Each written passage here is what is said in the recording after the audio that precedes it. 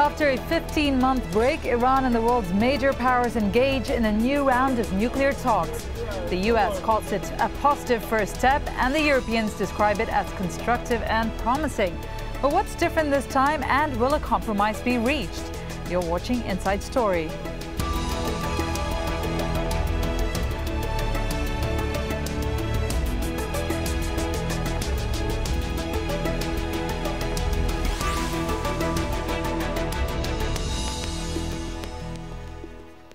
And welcome to the program. I'm Divya Gopalan. It's good to have you here.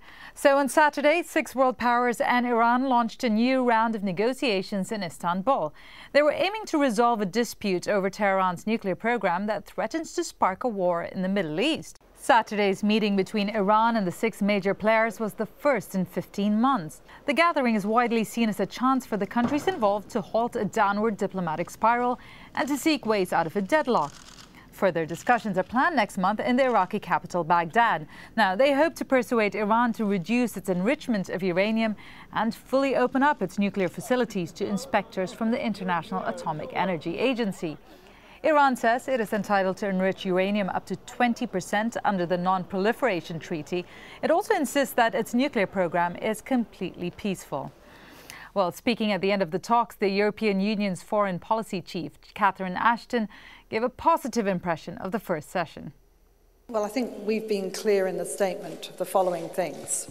First of all, that the Non Proliferation Treaty is a key basis upon which we will work. Secondly, that we are looking for Iran to fulfill all its international obligations. Thirdly, that we see a step by step process and that we've agreed that reciprocity will be a part of that. Now, for a number of years, talks on Iran's nuclear program made no progress due to preconditions and rigid positions on both sides. And this is what they looked like. In October 2009, Iran met representatives from the six world powers in Geneva, where a plan was approved to send 75% of its low enriched uranium to Russia and France. Now, in May 2010, Iran, Brazil, and Turkey signed a nuclear fuel swap deal. However, this was not implemented due to a lack of US, French, and Russian involvement. Talks started again in December 2010 in Geneva between Iranian nuclear negotiator Saeed Jalili and EU Foreign Policy Chief Catherine Ashton. Now, the discussions were on behalf of the five permanent members of the UN Security Council as well as Germany. In January 2011, talks with the six world powers in Istanbul ended in failure and last month they agreed to resume talks with Iran. So, can a compromise with Iran be reached? Well, to help us answer this question, we are joined by our guests. In Tehran, Sadegh Zibakalam, a professor of political science at Tehran University. Over in Moscow, Sergei Alexandrovich Markov. He's the vice president of Plekhanov, the Russian University of Economics, and a Russian political analyst. And from Stanford, California, Arash Aramesh, National Security and Middle East Analyst at Stanford University Law School. A very warm welcome to all three of you. Now, I'm going to put my first question to Sadegh Zibakalam. I want to talk about why there's such an air of optimism over these talks, given that there has been no outcome yet. Well, um, I think um, the, the optimism and enthusiasm, which this time uh, uh, has actually raised uh, at the end of the first round of talk uh, uh yesterday uh, mm, in, in, Istanbul is because I think we are observing for the first time the beginning of uh, confidence building up steps between Iran and Western power really and I think that's very significant because uh, for the first time, the West uh, has used a language which, which Iran has always desired to be addressed by that language. And, and, and, and also the, the West appears to be feeling more confidence that Iran is genuine, Iran is not bluffing, Iran is not trying to buy time, and the Iranians are serious in resolving uh, the outstanding issues. Sergei Alexandrovich Markov, now I want to put a question to you. Does Russia feel that Iran is serious about ending this standoff? Uh, we don't know. We don't know. Uh, we think uh, all uh, sides is serious. Uh, but in Iran, we can see that uh, one poli some politicians serious about uh, um, developing of uh, nuclear programs, and probably some of them uh, has military future, and another politician serious about reaching compromise. same time, United States quite serious not to have a war during uh, uh, last years because uh, this new war with Iran Uh, can undermine very much uh, uh, possibility of, of Barack Obama to be re-elected. And same time, European Union also not so happy about the war. But we think that Israel is quite serious also uh, I think this optimism of different sides, uh, remember me the optimism of uh, those who sick by cancer a few weeks before to die. And usually it's, it's happen. And I think that all these sides want to, to avoid the war, but Israel uh, very interesting about the war. First of all, uh, to crash uh, Iran uh, nuclear um, objects uh, because security issues and also Israel don't don't want very much to Barack Obama to be re-elected and such kind of air strikes and some war in the Middle East mm. can stop Barack Obama to re-elect. And Israeli leaders uh, hate him. That's why uh, I predicted that uh, Israel cannot bomb before uh, presidential elections in Egypt happen. Because okay. if so, um, uh, radical Islamists can win. And sometimes they will do it before starting of the presidential campaign in the United States. All it's, right. It means something about on July. Um, I want to pick up on the Israel factor there a little later, but I also want to pick up on the factor that you were talking about, about what's at stake here. Now, Barack Obama has very clearly said that, the, according to the U.S. media, and this is the, they're quoting him, that the Obama administration will make two specific demands in Iran the closure of its heavily fortified underground uranium enrichment facility at Fordow and the export of Iran's stockpile of medium enriched uranium. Now, this is a question for Arash Aramesh, and I want to ask you why Iran would agree to these things, given that they invested billions of dollars and this, this whole enrichment program is a source of national pride.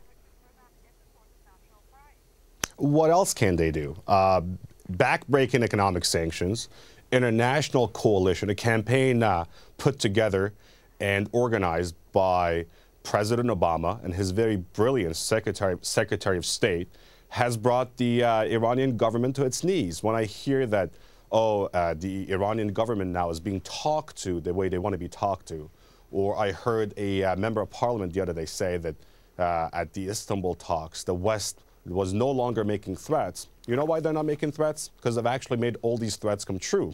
The short of uh, military strikes, Iran is under tremendous backbreaking uh, choking, suffocating sanctions by the uh, Western world and by not just the Western world, but the international community.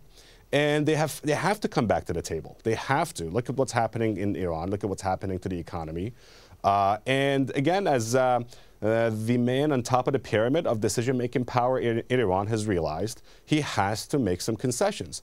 I want to address a couple of things, though. Uh, one of your guests in Moscow who mentioned that Israel doesn't want to see the president being reelected. That's just ludicrous. I mean, this is just uh, conspiracy theory uh, thinking right here. Uh, the U.S. and Israel have great ties, and I'm sure there are some uh, differences between President Obama and Prime Minister Netanyahu. But the fact to think that one country is trying to attack another country to prevent an American president from being reelected is just one of those ludicrous ideas, and I don't know how else to put it. Uh, that I just had to address it right now. Sergei Alexandrovich Markov, I just want you to respond to that. Uh, allegation there from Mr. Aramesh. Yeah, of course, uh, you can say that uh, it's a conspiracy, that it uh, wouldn't happen, but uh, it uh, uh, can happen because Israel not only hate Barack Obama and want Republican candidates to be elected, but also Israel doesn't trust the United States and also to European Union. If you uh, can chance to read Israeli uh, media, you can see uh, thousands of articles exactly about this, that Israel uh, can uh, rely only on own military capacities, but not on the promises of um, Washington and uh, European politicians. that's why I think uh, Israel will uh, be ready to make the decision itself. If Israel will make decision about military strike against Iran, uh, of course, uh, uh, public opinion in the United States will be uh, mostly to support Israel, even it will be bloody and some problematic strike. anyway, United States is a lie of, of Israel. Not only Washington politicians lies, but public opinion in United States very, very strongly support Israel in different contexts of Israel with his uh, uh, rivals. Okay, so very different viewpoints there on what role Israel plays and why they play that certain role. But the one thing that is clear, and what most people would agree on, is that sanctions have had some kind of an impact. How much of an impact we'll be discussing, but I want to first go back to our viewers and uh, re retrack what these sanctions were and how much has been put on Iran. Now, over the last year, Western countries have intensified pressure on Iran with a whole range of sanctions. These are primarily designed to target the country's energy sector and isolate it from the international community. So, in January, the European Union agreed to an oil embargo on Iran and a freeze on Iran's central bank assets. Then in March, the EU instructed the Brussels based SWIFT financial messaging network to disconnect 25 Iranian banks. Now, the United States went further with an almost total economic embargo on Iran. Then in February, they also imposed a freeze on Iranian assets. Now, this also put more pressure on other countries to intensify their sanctions. So, although Western leaders argue that sanctions are specifically targeted at the government, they're also hitting the ordinary Iranians hard. Staggering inflation has led to the price of food staples like meat and milk to skyrocket by as much as 50 percent. The sharp drop in the value of Iran's currency has also spiked the price of imported goods. And as intended, the sanctions are also having an effect on the country's oil sector. Last month, exports dropped by 300,000 barrels a day, and production fell to a 10 year low. Analysts are now predicting that by the summer, Tehran's oil exports could fall by another 700,000 barrels a day. So that's just oil. And Mr. Zibakalam, I want to take this question to you. How much are the Iranians spooked by these sanctions, and how much have these sanctions pushed them towards that negotiating table? I don't think anyone in Iran can, in all fairness and sincerity, deny or, or even to underestimate the um, detrimental uh, effects of uh, sanctions on uh, the Iranian uh, economy. I mean, I, am not trying to hide that, that the sanctions have indeed uh, uh, hurt um, um, Iranian people and um, the Islamic regime. But I think uh, what has uh, made uh, the Iranian uh, to look for compromise and to go towards confidence building um, steps are not particularly because of the sanctions. You see, the core of the problem, the core of the dispute between Iran and the Western power over its nu nuclear uh, program is really the enrichment.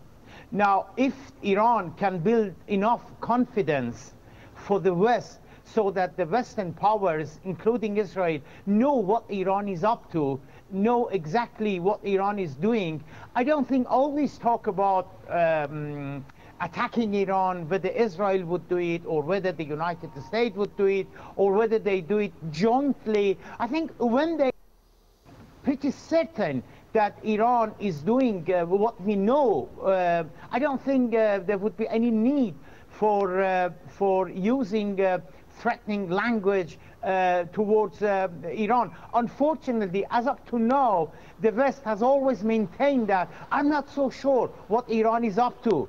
But if we can reach uh, some, some kind of understanding between Iran and the West, so that the West is quite aware of what is happening in Iran, mm -hmm. uh, then, then, then, then we, can, we can see that the problems are beginning to, to resolve.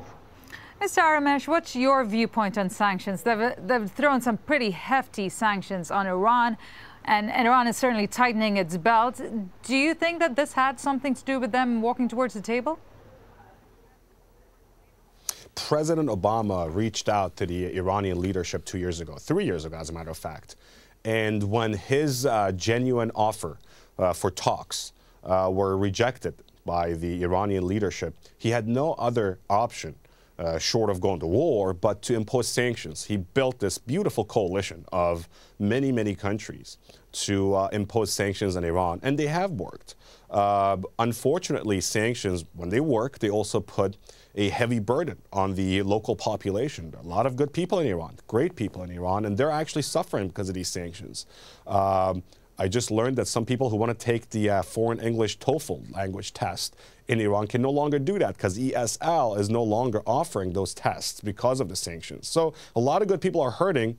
But again, you have two options. A, uh, go to war, which is going to be a terrible, terrible option to choose. And the other one is to uh, impose sanctions, to try to bring the party, the uh, non negotiating party, back to the negotiating table. And that's what they had to do. Uh, they've come back, which is a great thing, and I think Dr. Zibakalam is right when he says that confidence has to be built. There's a lot of confidence that needs to be built. And um, the best way to do that is for the Iranians to open up the sites, to allow inspectors in without preconditions, to allow inspections, um, to allow mandatory and random inspections. That would be a great thing to do. And again, it's not just the West trying to be harsh and threatening, or you know what you what you call it. It's just that there there has been years and years and years of mistrust and distrust between the uh, two sides, and it's about time to prevent another uh, war in the region and a disaster politically, economically, and militarily in the uh, East uh, to try to uh, build some good trust and good faith. Building trust and faith, Mr. Markov. Now Barack Obama has described this as the last chance of talks. He said it's the last chance for diplomacy to work. As from the Russian viewpoint, what does that mean to you? What's the alternative? Well, yeah, of course, I represent my own point of view.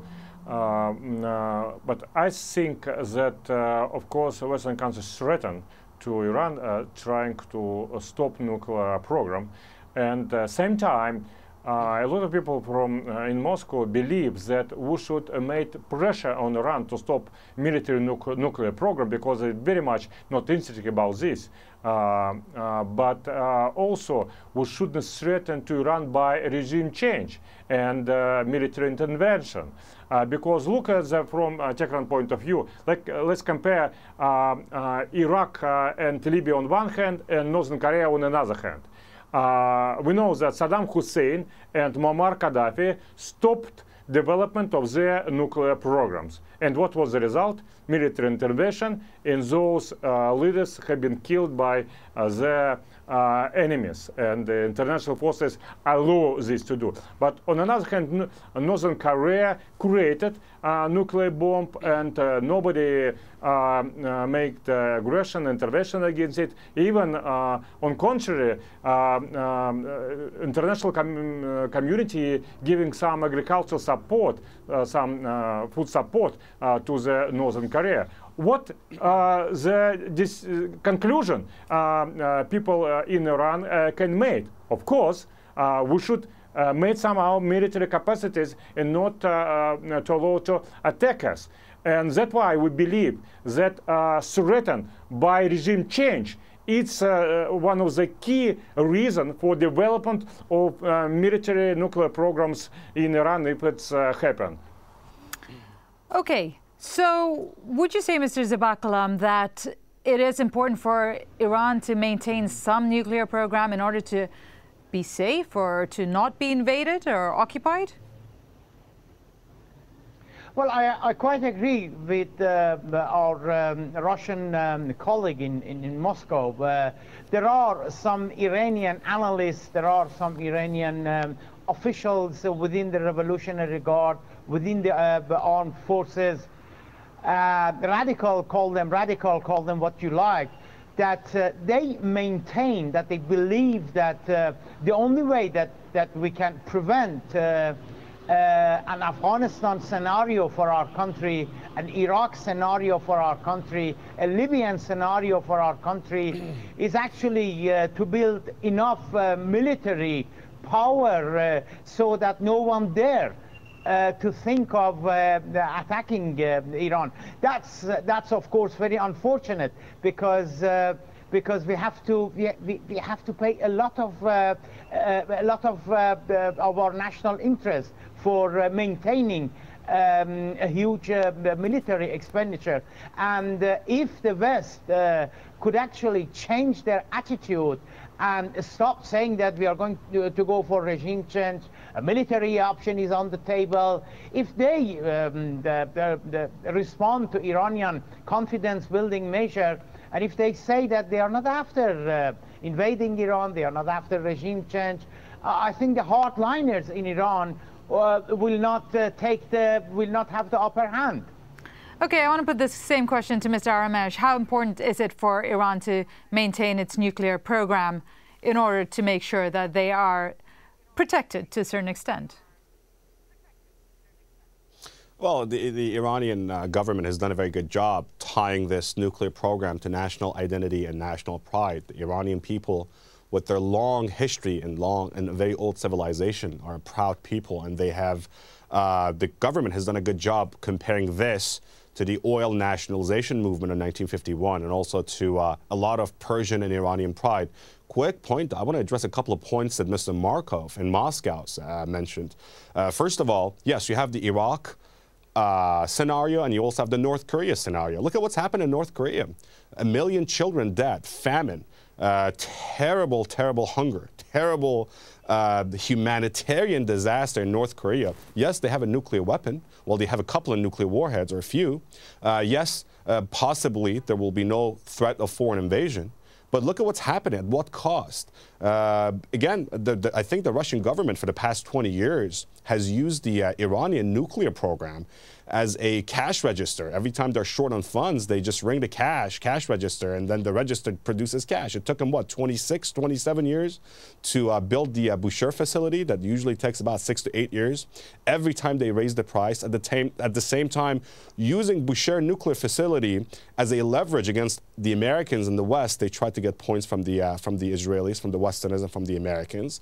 So actually, I, I don't think the, uh, the uh, Putin's Russia and, uh, is, is, is exactly being an honest broker or an, an honest uh, party in this in, in, the, in this uh, in this um, conflict uh, and in, this issue. But we got to keep in mind, yes, there was an invasion of Iraq, and it was a bloody invasion. Although Iraq is doing a lot better today than it was a few years back. And look at North Korea. I mean, is that, uh, I'm not in any way pro uh, uh proposing or, uh, or supporting a military conflict or an invasion. Far from it. Don't get me wrong. Not at all. And I tend to agree with Dr. Zibakalam here to, to some extent. But I just want to make sure that people uh, are very clear about uh, North Korea. It is no rosy picture in North Korea. People are dying and starving, and the country is the most isolated country on the face of the earth, thanks to its nuclear program. So, Mr. Markov, is Russia really interested in getting this process rolling? Do they want an end to Iran's nuclear program? Of course, uh, Russia very much not interested about Iranian nuclear military program uh, because also believes that it will lead to the domino uh, scenario and Saudi Arabia probably will have a uh, nuclear bomb uh, and uh, probably Egypt also will have military bomb. And with such combination of military powers, Iran, Saudi Arabia, Egypt and Israel, we can very easily come to the military conflict and total destroying this region region which is, uh, which is very important for the global economy because it's most of the oil, as we know, produced in those areas. And uh, but same time, we differ very much uh, um, peaceful Uh, uh, nuclear programs which we are supporting and uh, a military nuclear program. And we think that international community also should make very clear distinction between this and making cooperation with Iranian regime, not to threaten by regime change. Gentlemen, there's just so much to discuss. You've all brought up some great points that deserve so much more time. Unfortunately, time is something we don't have. The show's nearly over. And I'd like to thank our guests in Tehran, Sadegh Zibakalam, In Moscow, Sergei Alexandrovich Markov. And from Stanford, California, Arash Aramesh. Thank you very much. And also, of course, to our viewers, thank you so much for joining us on this edition of Inside Story. And if you want to send us your feedback, you can just email us your thoughts at insidestory at aljazeera.net. It's been good to have you with us. Thank you very much for watching, and goodbye for now.